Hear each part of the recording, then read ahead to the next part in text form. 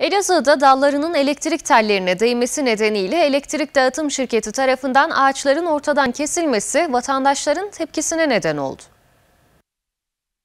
Elektrik dağıtım şirketi Çatalçeşme mahallesinde dalların elektrik tellerine değmesi nedeniyle budama çalışması başlattı. Bölgeye giden ekiplerin ağaçları ortadan ikiye kesmesi çevre sakinlerinin tepkisine neden oldu. Vatandaşlar ağaçların gövdesine kadar budanmasının son derece yanlış bir uygulama olduğunu belirtti.